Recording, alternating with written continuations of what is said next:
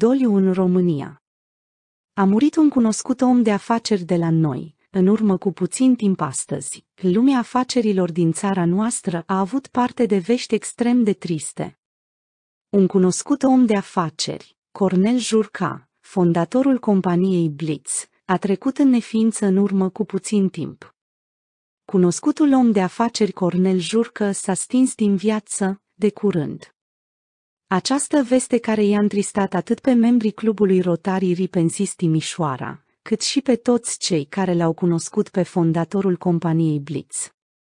Anul acesta, mai exact în urmă cu doar câteva luni, s-au aniversat 32 de ani de activitate neîntreruptă a uneia dintre cele mai cunoscute firme din Timișoara.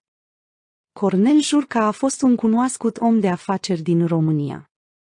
Mai mult, acesta a fost candidat la primăria Timișoara și amintim despre el că a știut dintotdeauna că șoferia și mașinile vor face parte din viața lui.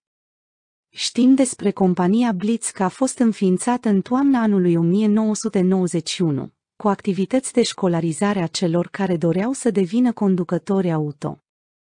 Mai târziu, aceasta a devenit un grup de firme, cuprinzând societăți comerciale cu profil de învățământ secundar, transport în regim de taxi și servicii de pază și protecție.